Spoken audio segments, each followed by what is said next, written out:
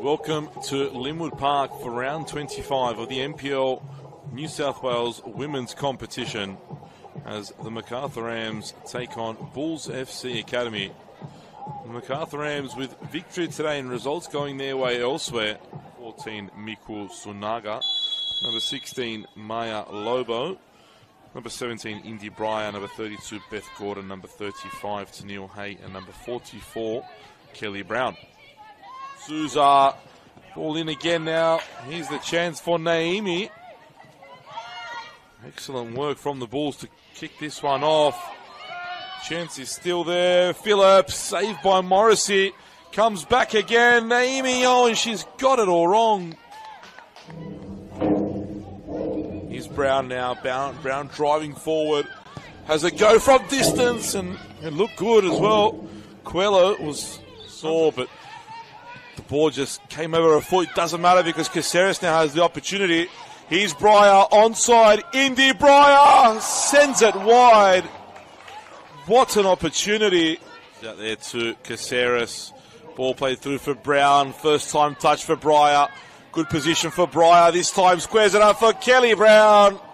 And Quello with an excellent save. So brave from the Bulls keeper. Points and into fourth place. But first, Kelly Brown now into the area. Great position for Brown off the post. Tried to pass it beyond Isabella Quello. Gordon came across, made the challenge. Caceres, great feet. And excellent technique to find Bronte True, who's got so much pace. And look at Liz Gray coming across touch let down Bronte True in all fairness. But defending by the Bulls, and now they can break through Phillips. But look at Hay rolling back the years.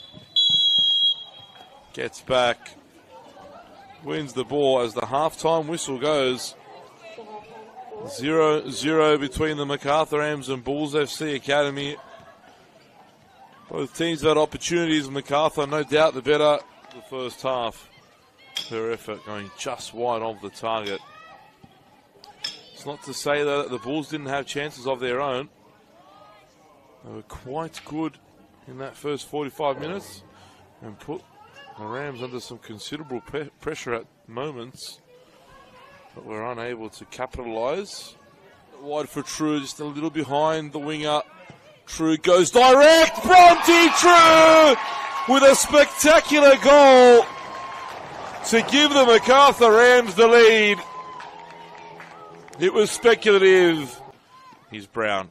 Stayed on side. Kelly Brown saw the space, tried to get in there. Almost drops in the path of Caceres. Does for Brown.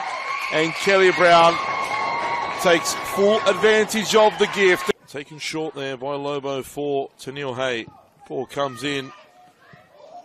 Looks as though it came off the hand there, but Breyer will have a go. Indy Breyer! Oh, and what a finish from Indy Breyer.